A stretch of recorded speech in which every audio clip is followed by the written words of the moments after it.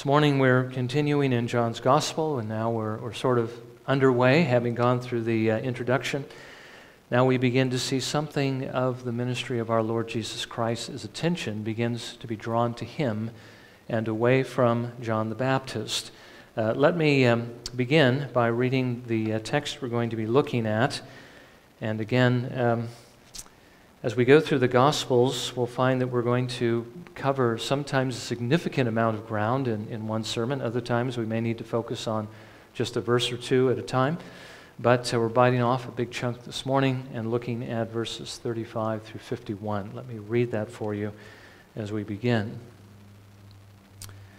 Again, the next day, John was standing with two of his disciples.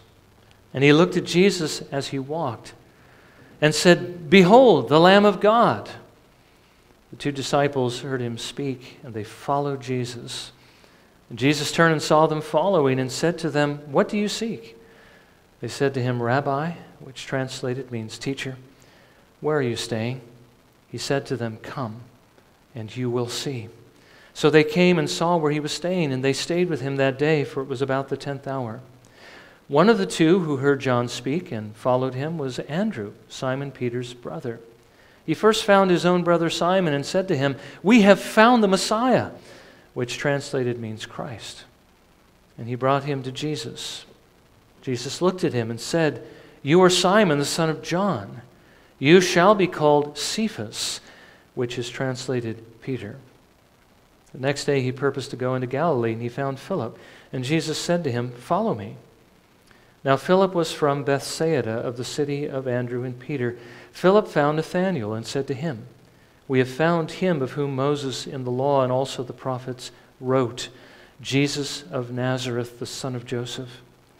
Nathanael said to him, Can any good thing come out of Nazareth? Philip said to him, Come and see. Jesus saw Nathanael coming to him and said of him, Behold, an Israelite indeed, in whom there is no deceit. Nathanael said to him, How do you know me? Jesus answered and said to him, Before Philip called you, when you were under the fig tree, I saw you. Nathanael answered him, Rabbi, you are the Son of God, you are the King of Israel. Jesus answered and said to him, Because I said to you that I saw you under the fig tree, do you believe? You will see greater things than these. And he said to him, Truly, truly, I say to you, you will see the heavens opened and the angels of God ascending and descending on the Son of Man. May the Lord bless His word to our hearing this morning. Now, again, last week we were looking at uh, John's testimony about Jesus. Remember, John's ministry had gained a, a great deal of attention, so much so that the Pharisees in Jerusalem sent some priests and Levites out to John to find out who it is he claimed to be. They asked him, Are you the Christ? And he said, No. Are you Elijah or the prophet? And again he said, No. So who are you? John said, I am the voice of one crying in the wilderness. Make straight the way of the Lord, as Isaiah the prophet said. Well, why then are you baptizing if you are not any of these men? By what authority do you do these things? Well, the reason why John was baptizing was, as he said, to prepare the way for the Lord. That's why he was preaching, why he was telling the people they needed to repent. That's why he was baptizing them with a baptism of repentance if they sincerely desired to turn from their sins and to prepare themselves for the coming of the Lord. That's what they needed to submit to. He was trying to get the people ready to receive the one who was coming, the one whom John said was able to baptize with the Spirit, which means he was able to make spiritually alive those who were dead. He is able to forgive sins and to give the power to break the chains of sin and to live a godly life. Uh, one was coming, John said, who was so holy that he wasn't even worthy to loosen the, you know, the thong of his sandal, not even worthy to take his sandals off. This one who was coming, who was able to baptize with the Spirit of God, who is himself, of course, a divine person, had to be God himself. So he went out to get them ready to receive their Messiah, whom he's already told us is the Son of God. Now, this morning we see that John's ministry was actually bearing fruit. Some were listening to John and coming to Jesus and following Jesus. And we see that those who listened and went out to Jesus immediately went out and found others who needed him and brought them to Jesus as well. Basically, this is how the Lord was at work to gather his sheep to himself. And more particularly in this case, those who would be his apostles. And basically, that's what I want us to see this morning. I want us to see this process that was ongoing and how it is that Jesus was gathering his sheep together, what it is that was true of his sheep that were gathered to him. And of course, um, to see that we're a part of that process. Jesus wants to use us also to go and gather his sheep to himself. Now, we're going to see a number of other things as well, but that is the main thing I want us to see. Now, first, we see fruit in John's ministry as he was pointing to Jesus. Remember, that is why the Lord sent him out, was that he might prepare the people, that he might point the way to Jesus. I'm baptizing with water, but one is coming after me who can baptize with the Spirit. Well, we see again John being given that opportunity to point to Jesus in verses 35 and 36. Again, the next day, John was standing with two of his disciples, and he looked at Jesus as he walked and said, Behold, the Lamb of God.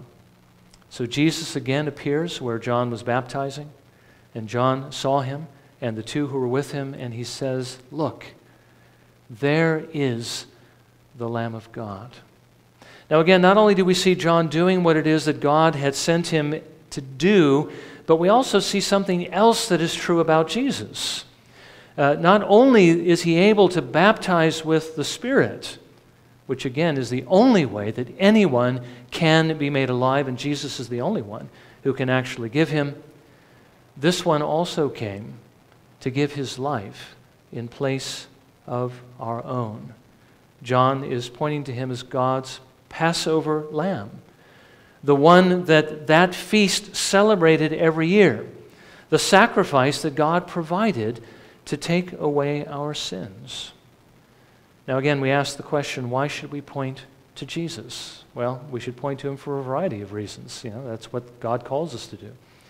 He is the Messiah. He is the Son of God. He is the one who baptizes with the Spirit, who alone can do that, who is able to change the heart.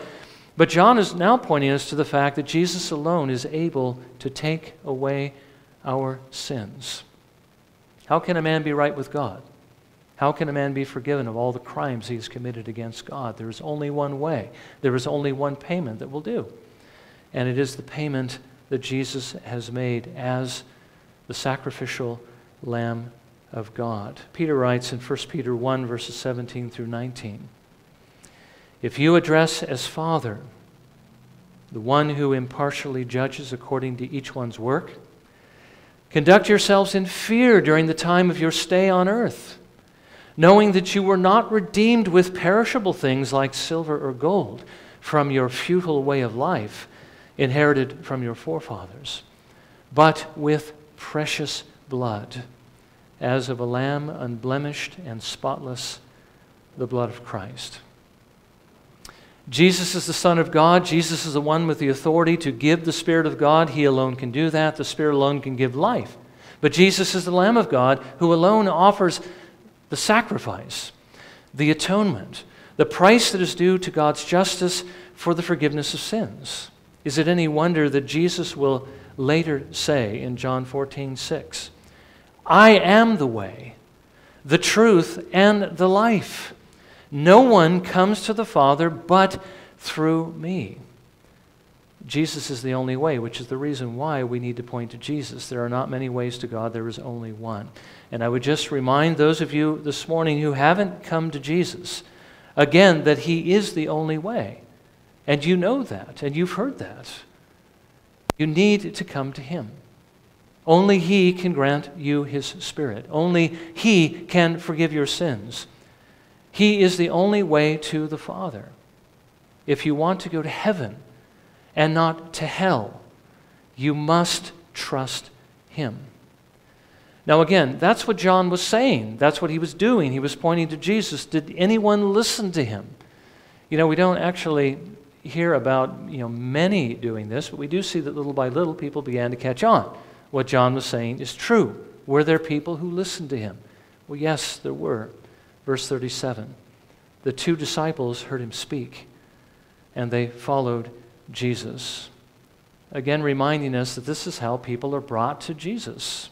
This pointing to Jesus, this gospel which he has given to us, is the message God uses to bring others to himself.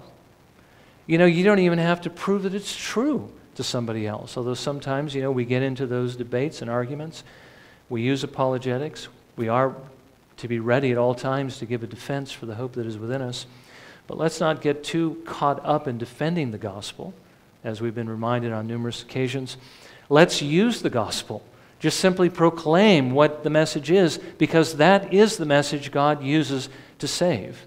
John didn't have to prove that Jesus was the Messiah. He simply pointed to him and said, There he is. Follow him. Now you realize not everyone that you tell is going to come to him. John pointed many, many people to Jesus. Not all of them came to Jesus, but a few did listen, and a few did follow him.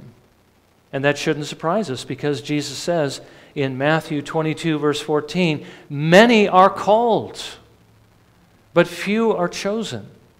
There's going to be many more people who are going to hear the gospel than are actually going to be saved by the gospel. Uh, many seeds of the gospel have been sown over the centuries, but only very little of it has fallen on good soil. I mean, consider how many people you know that have come to church how many people you know who have heard the gospel? How many people you know that were actually raised in Christian households under the gospel their entire lives? And yet, of all the people who have heard, there really aren't that many who have believed, but some have. Uh, Jesus never told us to expect that everyone would be saved, but he did tell us to expect some. And those are the ones, of course, that we are going out for. Of course, we're going out for everyone because we do love our neighbor. We are to love our neighbor as ourselves. We are to call everyone to faith and repentance. Our hope is that all of them would come. But we're not to expect that they are all going to come, but we are to expect that some will. Now, here are two that did. John pointed, the Spirit worked, and these two came to Jesus. And what is it that Jesus did when he saw these two coming after him? Well, he invited them to follow. Verses 38 and 39. And Jesus turned and saw them following and said to them, What do you seek? And they said, Rabbi, which translated means teacher, where are you staying? He said to them, Come and you will see. So they came and saw where he was staying, and they stayed with him that day, for it was about the tenth hour. Now, what is Jesus going to do if you come to him? Or when you come to Him, when you come to Him in faith, if you're willing to turn from your sins and trust in Him. He'll do the same thing He did for these men. He will receive you, He will invite you to follow. Uh, Jesus reminds us in John 6, verse 37 All that the Father gives me will come to me. And the one who comes to me, I will certainly not cast out. You know, the Bible encourages us that we, we, we should never be afraid that Jesus will not accept us, that Jesus will not receive us if we come to him. If you are willing to come to him on his terms, which means letting go of your sins, and again, not sin as you define it, but sin as God defines it in his word. If you're willing to let go of your sins, if you're willing to trust Jesus Christ and make him your whole hope of heaven, he is willing to receive you because if you're willing to do that, it shows that the Father has given you to Jesus. And if the Father has given you to Jesus, Jesus isn't going to, to turn you aside. He's not going to cast you out when you come to Him. He's warmly going to welcome you. And He will graciously forgive you. And He will, as we saw in Psalm 23, guide you in the paths of His righteousness.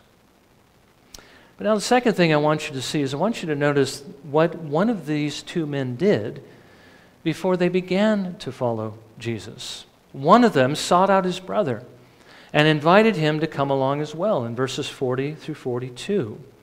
One of the two who heard John speak and followed him was Andrew, Simon Peter's brother. He first found, uh, he found first his own brother Simon and said to him, We have found the Messiah, which translated means Christ. He brought him to Jesus. Jesus looked at him and said, You are Simon, the son of John. You shall be called Cephas, which is translated Peter. Now, when we find the Lord, or we should say more accurately, uh, when the Lord finds us, uh, it changes us in more ways than one. Not only do we want to follow Jesus Christ, but we want others to follow Jesus as well. Now we see that Andrew's heart had been opened by the Spirit of God to see who Jesus was and to receive Jesus. But the Spirit also gave him something beyond that, something he gives to every one of his followers compassion for his neighbor, to love him as he loves himself. In this case, his neighbor being his brother Simon. Now, we do need to remember that Christianity isn't just about us. It's not just between you know, me and God, as it were. It's not a private religion, something that we do in secret. But Christianity is something we are to do openly. It's something that we are to express openly. Again, there were those who were secret disciples for fear of the Pharisees, but Jesus says, If you deny me before men, I'll deny you before my Father. His will for us is to express Him and to proclaim Him openly. Jesus says in Matthew chapter 5, verses 14 through 15, You are the light of the world. A city set on a hill cannot be hidden, nor does anyone light a lamp and put it under a basket, but on the lampstand, and it gives light to all who are in the house. You see, Christianity is all about following Jesus' example to reach those who are around you with the gospel so that they too might find the kingdom of heaven.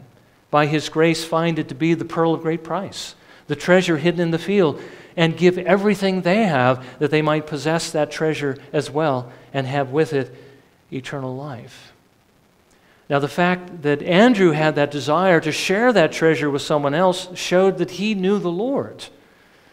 And when you find within yourself that desire to share that treasure with others, it also gives you strong encouragement that you belong to the Lord and that you have entered into his kingdom. Now, it's interesting to note that when you do obey your Lord and submit to him in, in doing this work, you just never know what's going to happen how the Lord is going to use you in his kingdom in bringing others to Jesus. Now, we already know that there's going to be many who are going to reject Jesus, but there are going to be those who receive him.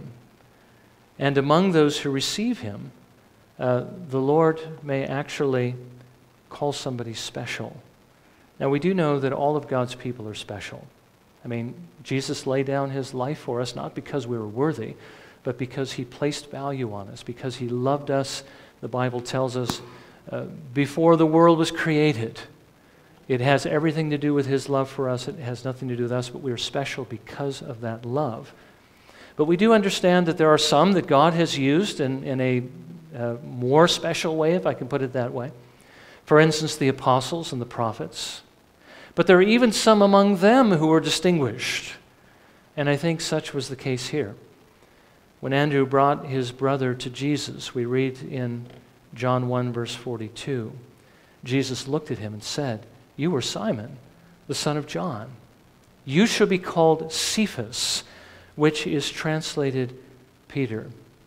Now, again, we're going to see a little bit more about this, so actually, we already have. I'm not, I'm not going to go into the, you know, the explanation of Matthew 16 with regard to these rocks and so forth, but I do want you to understand that Cephas is Aramaic for the Greek word Petros, which is where you get the word Peter or the name Peter. And both words basically mean a, a stone or a rock. Jesus basically says, You were Simon, but you will be called a rock. And not because Jesus thought that Peter was particularly dense, but because Jesus would later use Peter and his confession to build his church. Now, it may be true that, that the Lord hasn't given us the greatest gifts. Maybe we're not personally going to bear as much fruit as other people have for His glory in the church or as much as we like. I think the heart of every true Christian is they want to bear fruit for the Lord. They want to do as much as they can. But we have to recognize there are some God has called that He will use more than others. But even though we may not have the great gifts, we may yet be used by the Lord to bring someone to Himself that does have those gifts. I think you've probably heard this illustration on a number of occasions, but Spurgeon himself was actually brought to faith in Christ not by some great evangelist, not by some uh, great gifted man that the Lord was using, but by some poor guy who was filling the pulpit on a particular Sunday because the pastor couldn't make it to church. There was too much snow. He got snowed in. And uh, Spurgeon, as he, as he remarks about his own conversion, was the man opened the, the Bible and read this text, looked to Jesus, and after 10 minutes, he had basically said everything he could think of saying. And then he began to look at the people who had gathered there, and he looked at Spurgeon, and, he's, and he said to Spurgeon, You need to look to Jesus. And you know what? The Lord used that one word, look. Suddenly, it became sweet to Spurgeon, and he was converted by the efforts of this man who didn't have great gifts, didn't have great education, was just simply trying to be used by the Lord on that particular occasion and get people to look to Jesus. And the Lord used him. The Lord might use us to bring someone he may use mightily. And you know what? I think that the man that the Lord used to bring Spurgeon to Christ is also going to share in that reward that Spurgeon has because he was instrumental in bringing Spurgeon to him. And I think that's one of the reasons why you really don't receive your reward until the day of judgment. The day of judgment doesn't come until everything has been said and done because you don't know. Uh, and really, everything, all the fruitfulness of, of your life isn't going to uh, be realized until the very last day.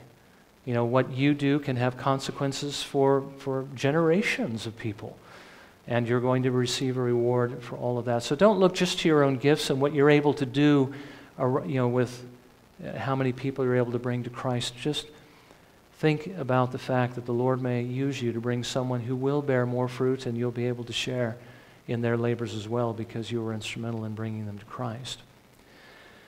Now, the great shepherd was gathering his sheep through John and through those who came to him through John's testimony. But I also want you to see that the great shepherd himself was going out to gather his sheep personally. We read in verses 43 through 44.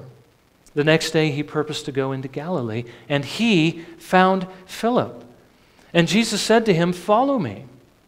Now, Philip was from Bethsaida, the city of Andrew and Peter. Jesus had left Bethany where John was baptizing and he went into Galilee. And there he sought a particular man by the name of Philip. Now, Philip was from Bethsaida, interestingly, where Andrew and Peter also lived. It's quite possible that all these men uh, already knew each other. Likely they did. But when he found Philip, he, he called him also to follow him. Now, why did Jesus do that? Why did Jesus go out and personally call Philip? Was Philip more important than, than Andrew? Was he more important than Peter? Is that why Jesus went to him rather than the other way around? Well, I don't, I don't think so. I think during Jesus' earthly ministry, he was sent to gather his sheep, and that's exactly what he was doing now that his ministry was underway. Uh, we see in the case of Zacchaeus, I love to read this story of Zacchaeus, where um, uh, you know, Jesus was entering into Jericho, and there was a man who wanted to see him, and Jesus calls him.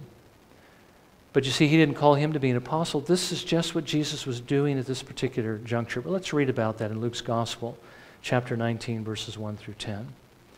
Uh, he, that is Jesus, entered Jericho and was passing through. And there was a man called by the name of Zacchaeus. He was a chief tax collector, and he was rich. Zacchaeus was trying to see who Jesus was and was, was unable because of the crowd, for he was small in stature. So he ran on ahead and climbed up into a sycamore tree in order to see him, for he was about to pass through that way. When Jesus came to the place, he looked up and said to him, Zacchaeus, hurry and come down, for today I must stay at your house. And he hurried and came down and received him gladly. When they saw it, they all began to grumble, saying, he has gone to be the guest of a man who is a sinner. Zacchaeus stopped and said to the Lord, Behold, Lord, half of my possessions I will give to the poor. And if I have defrauded anyone of anything, I will give him back four times as much. And Jesus said to him, Today salvation has come to this house, because he too is a son of Abraham. For the Son of Man has come to seek and to save that which was lost. Now, the interesting thing is here, when Jesus was on earth, he could personally seek his own, and that's exactly what he did. He went and he was calling his lost sheep to himself. But now that he's in heaven, we need to realize that he still does that work. But now he's doing it in a different way through his people. Remember, the book of Acts is all about the continuing work of Jesus Christ through his church. It's not about the work of his church, it's what Jesus is now doing through his church. And though the book of Acts did come to an end at the end of the several chapters, documenting that time between you know, Jesus' resurrection and the time when Jesus would come in judgment against Jerusalem, the book of Acts, in a certain sense, is continuing because it's continuing through us. We need to remember that anyone who comes to Jesus comes to him for the same reason that uh, Philip did when Jesus came to him and said, Follow him. They come because Jesus is seeking them. That's why you came to him, because of his work in seeking you through someone else. John reminds us in 1 John 4:19, we love because he first loved us. When we come to Jesus Christ, it's because he is seeking us. He may not do it personally, but he is doing it by his Spirit through his people whom he has called to himself. He calls them to reach you in His name, as He calls us to reach others in His name. But it is the work of Jesus. He is seeking His sheep. And then finally, we see Philip do what Andrew had done earlier. He also went and invited someone else to come to Jesus. We read in, in verses 45 through 46. Philip found Nathanael and said to him, we have found him of whom Moses and the law and also the prophets wrote, Jesus of Nazareth, the son of Joseph. Nathanael said to him, Can any good thing come out of Nazareth? Philip said to him, Come and see. Now, one thing I should mention at this point is I, I don't know that all these men were necessarily unconverted uh, before they came to Jesus. They were in a certain sense. I mean, uh, they hadn't yet become Christians. We, we see that there were God-fearers who hadn't received the Spirit of God because they hadn't heard about Jesus Christ, and Cornelius and those believers that were in Ephesus that only knew about John the Baptist. I believe these men were Old Testament believers, uh, even as Simeon, uh, who was ministering in the temple, waiting for the Lord to fulfill his promise to send his Christ. I mean, they trusted God, they believed his promises, and they were waiting. So I don't think that these men didn't necessarily know the Lord Jesus Christ. Uh, they were ready and waiting for him to come. And when he came, they received him. But still, I want you to see they, they came to him. They had this desire. Jesus may have been working through other means before he actually came and called Philip. He was working through the Old Testament prophets, he was working through the law, and that law had its work upon their hearts, and they were ready and waiting for the Messiah. But that was still Jesus' work, wasn't it? In working through the Old Testament to get them ready.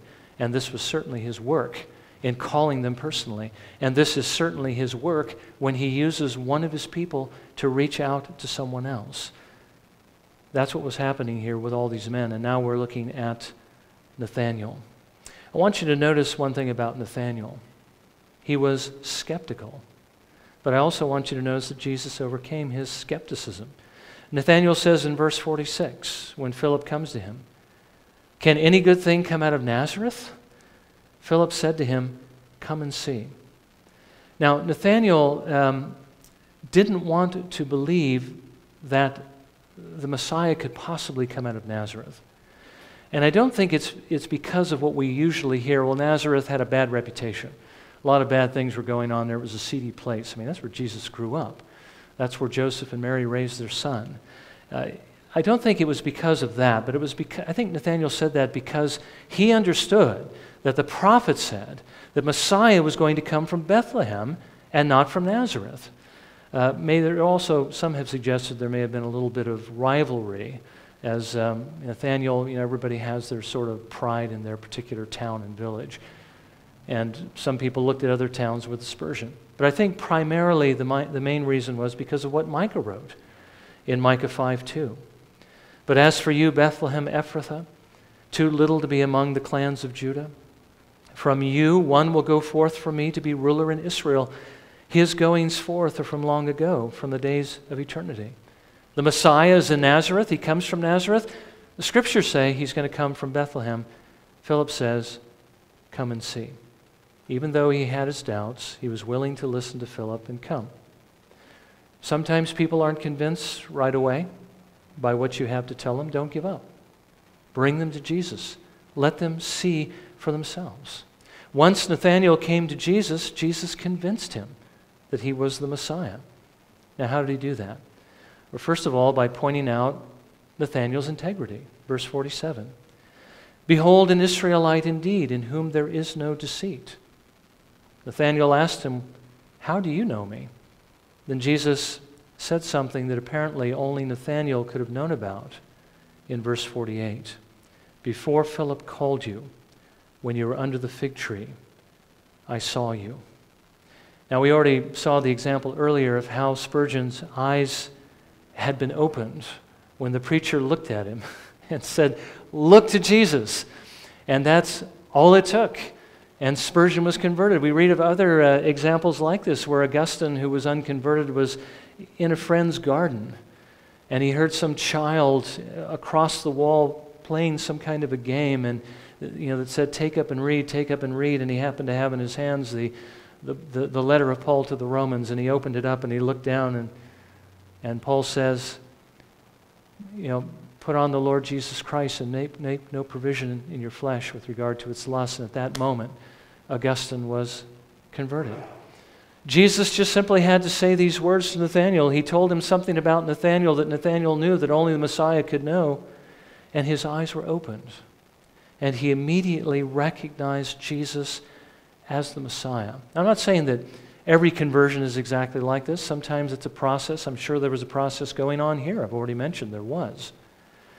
But that moment, there is a moment of conversion and I think this was the moment for Nathanael. He says in verse 49 Rabbi, you are the Son of God. You are the King of Israel. This is how the Lord works. He works supernaturally, He works through His Word, He works by His Holy Spirit.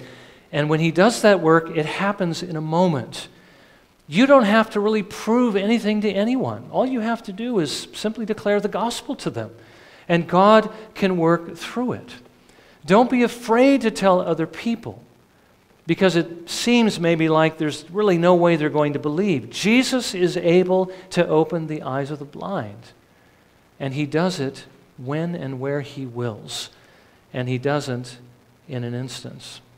Now, Jesus is not only able to open the eyes of the blind on very slim evidence, he's able to give you more evidence as well to give you an even fuller conviction. Jesus says to Nathanael in verses 50 and 51 Because I said to you that I saw you under the fig tree, do you believe?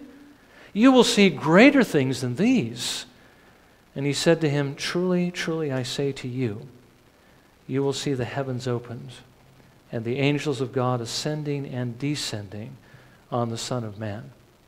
Now, I think it is interesting that throughout Scripture we see Jesus again and again denying evidence denying proof, uh, denying, as it were, miracles. He doesn't sort of, uh, you know, um, uh, perform on command, as it were, when he's in the presence of his enemies.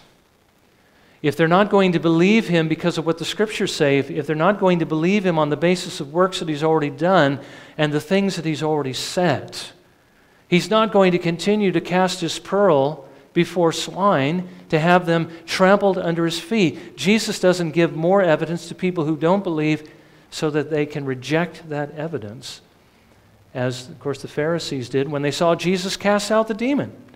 The first thing they said is, well, he's in league with the devil. If that's what they're going to do with, with evidence, Jesus isn't going to give them any more. But that isn't true with regard to people who do believe. Jesus gives more to them. Like Jacob, who saw the vision of the ladder reaching to heaven and the angels of God ascending and descending from the Lord to minister to him, Jesus says to Nathanael that he would see the angels of God ascending and descending on the Son of Man to minister to him, to minister through him, and to bring, as it were, fresh revelations of God's Word and miracles. Jesus did what he did completely dependent upon the power of as it were, the Father and the Holy Spirit, and perhaps even his own divine nature. But remember, Jesus, being fully man, was dependent upon them for that information, for those revelations, and the ability to do those miracles. He says to Nathanael, You're going to see that, Nathanael. You're going to see far greater things than this, than just what I told you. When you trust in the Lord Jesus Christ, when you believe his word, Jesus will give you more he will give you a fuller evidence to refresh your faith and to bring it, as it were, to its greatest strength. So, now what have we seen in, in this section? Uh, we've seen a few things. The Lord is continually seeking his people. He does that even today. Here he sought and he found four of his twelve apostles Peter and Andrew, Philip and Nathanael. Now, I already mentioned to you, if, if Nathanael doesn't sound familiar to you, it's because he is known by another name. And that name is probably unfamiliar to us as well uh, Bartholomew. He was one of the Lord's apostles. By the way, when you, when you look in Scripture, not always, but very often, it's paired together with Philip. So Nathanael is basically Bartholomew. You know, I used to read the Gospel of John. I always used to wonder what happened to Nathanael. Why don't we read about him again anywhere in Scripture? Well, we do. He was following the Lord everywhere he went. He was one of those 12 the Lord was using. So he didn't just have this encounter with Nathanael and just forget about him. Nathanael was one of his people. Now, we've also seen while he was on earth, he sought his own through others. He sought his own personally. And we've seen that now that he is in heaven, he does so through his people. He does so through you and through me. And we've seen that when he finds his people, his people do two things they follow him, and they try to get others to follow him. And finally, to those he finds, by giving light, he gives a greater light to strengthen their faith. Now, on the basis of this, let me ask you a few questions in closing. Has the Lord sought you? Has He found you? does your life demonstrate that He has found you by the fact that you're following Him? Are you following Jesus Christ? Are you trying to, as uh, Andrew did and as Philip did, are you trying to draw other people to Jesus Christ? Are you trying to help them find Him as well? Do you find the Lord Jesus Christ refreshing your faith and strengthening your faith with, as it were, fresh revelations from His Word and even in your own life of His supernatural uh, working. Well, if those things are true of you, then the Lord has found you. He has had mercy upon you. But if, he, if those things aren't true of you, if He hasn't found you, I would again urge you to come to Him. Maybe I should just use the words that the, uh, the preacher did to Spurgeon look to Jesus. You see, that's all that's necessary. Look to Him in faith. Turn from your sins and be willing to receive Him as your Savior because only Jesus can give you His Spirit to make you alive. He alone can baptize with the Spirit of God. And if you don't have the Spirit, you cannot do this.